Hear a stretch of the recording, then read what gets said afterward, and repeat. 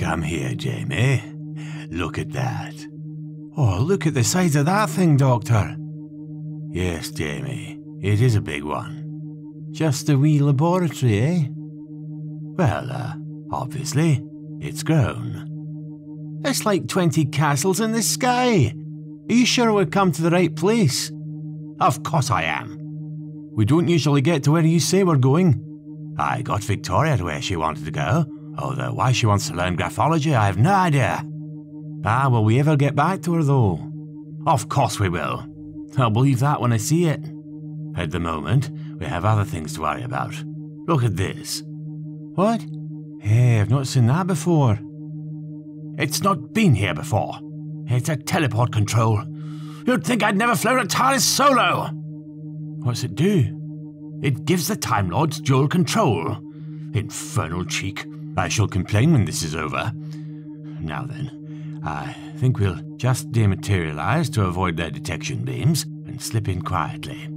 Uh, I thought you said they were friendly. Friendly? Oh, I should think they'll be overwhelmingly so. Then why are we slipping in quietly?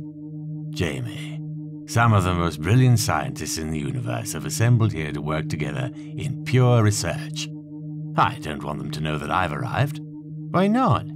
Well, think of the commotion. They'll all be scrambling around wanting my autograph. No, no, no. I, I just want a quiet word with old Dastari, head of projects. Right then.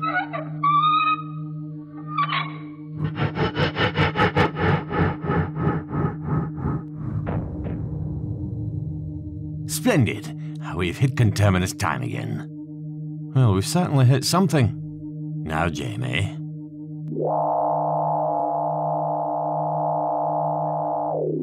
Right. Follow me. Wait. What? What? We'd better take the recall disc. And Jamie, don't go wandering off. Stay with me. Do I ever? It has been known. And, uh, let me do the talking. All you have to do is stand in the background and admire my diplomatic skills. Your diplomatic skills.